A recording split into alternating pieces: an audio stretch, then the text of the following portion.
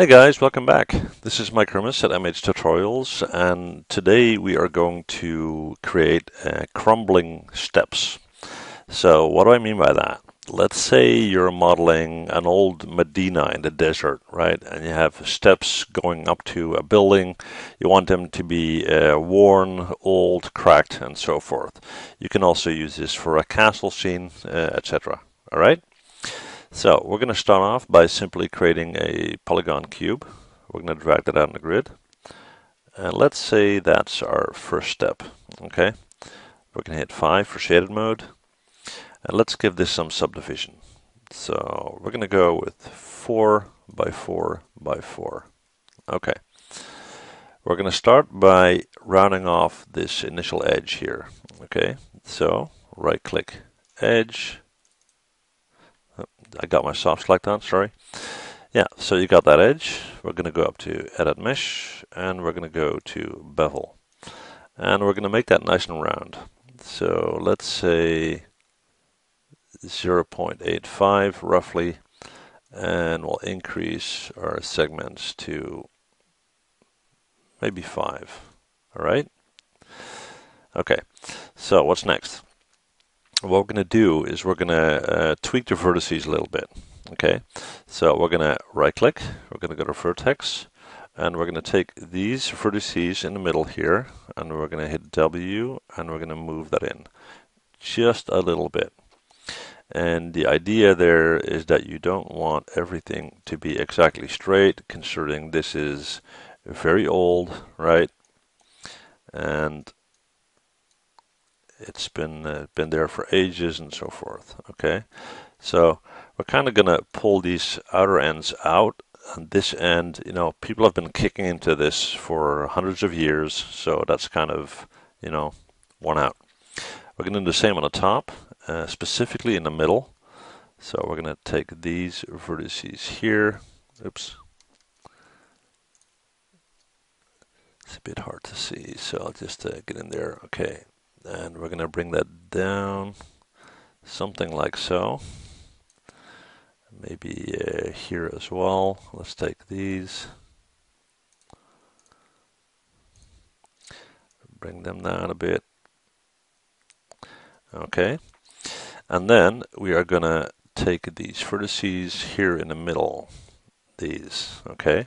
We're going to hit B on our keyboard for our soft select and you can increase or decrease that selection by holding down your B key, holding down your left mouse button and drag that out or in.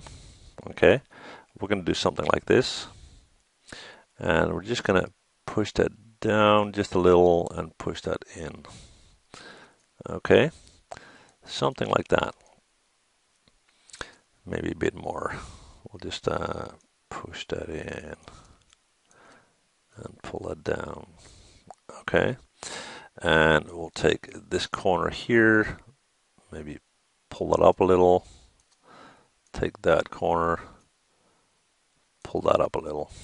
Okay, so this is what we got. We're going to right click, go to object mode. Let's see what we get when we do soft select. Okay, That'll be something like this. Now, I don't like these edges here, so we're just going to go back to where we were.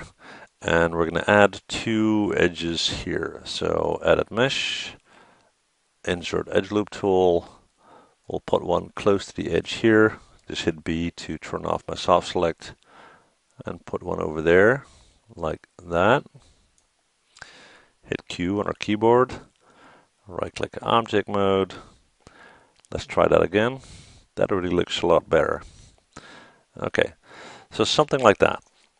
Now we're going to take this step here. We're going to hit Control D to duplicate. Hit W to move that over. Not all the way. To give us something like that. And we're going to hit Shift D to duplicate that a few times. Which will give us something like this. All right. Now let's put some cracks into these steps. All right. We're going to take, uh, let's say, step number three here. And what we're going to do is we are going to go to Edit Mesh, Interactive Split Tool, and we're going to start to create a crack in the steps. So let's say one there, there, there, uh, there, and there. And we're going to go back up.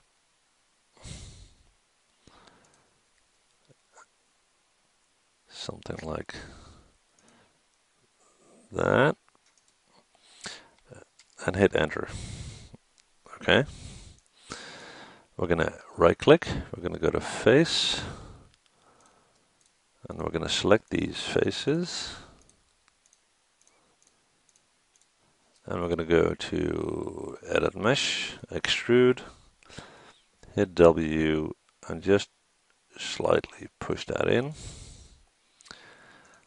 Okay, which just will give uh, you know the effect of uh, a piece of rock falling out ages ago, right? And this is kind of the final effect that you get. We can do this on top as well. We'll just go to uh, interactive split tool. We'll do something like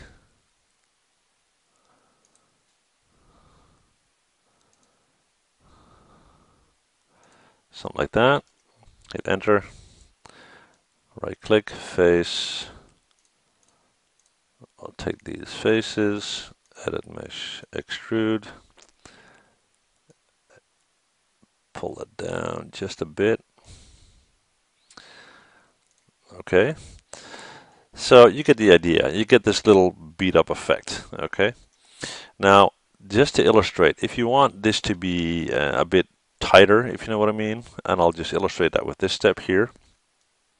We'll go to object mode and we'll go hit our one on our keyboard. You'll get a slightly different effect.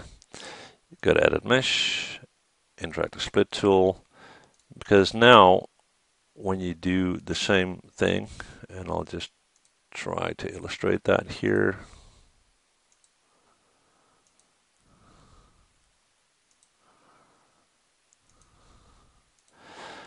If you do this, right, without the soft select, and you go to right click face, and I'll just select these faces here and you go to Edit Mesh Extrude, hit W and push that in.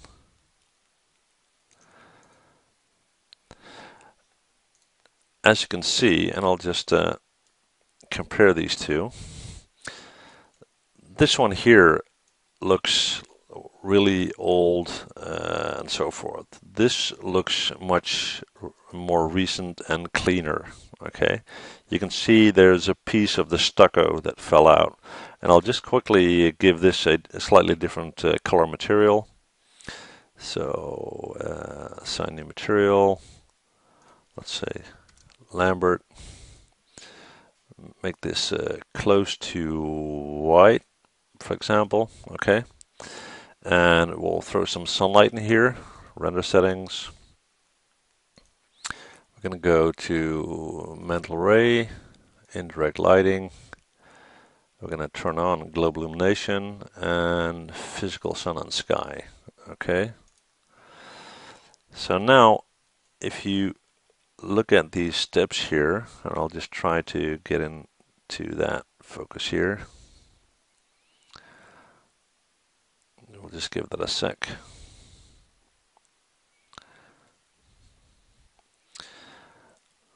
Okay, so this initial step here looks uh, a bit banged up, right? You can see that it's it's rounded, it's curved, and so forth. This looks, uh, I don't know, a bit uh, off, if you know what I mean. Okay, so I prefer to use this method here. Now you can tweak that some more. You can take the vertices uh, right click vertex and you can take little sections like that hit your B select, push that in, pull it up. You can tweak that any way you want. Now let's say you want to simulate that this is, uh, for example, this one here, this is fairly recent.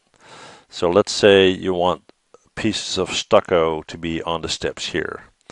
You just simply take a polygon cube. Let's try that again. Polygon cube, something like that. Make it very thin. Hit F to zoom in. Right click, go to vertex, drags like that. And just bring that in and tweak these uh, settings until you think it's realistically looking like a piece of stucco.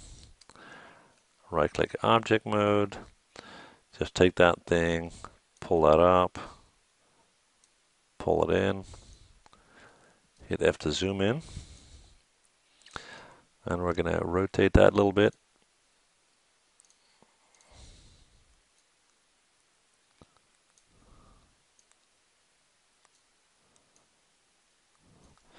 and we're going to hit R and we're going to scale that in a lot. Okay, just push that down a little like so.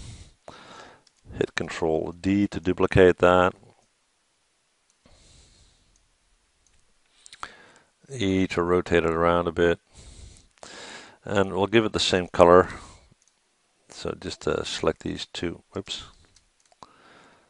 Just select these two like so right click, assign existing material.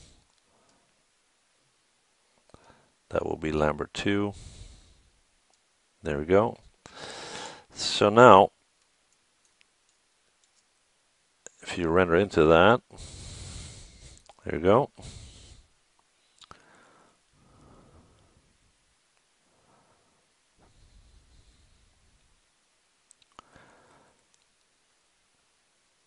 You'll see that section of uh, stucco that fell out, right? And uh, you've got these little pieces down here.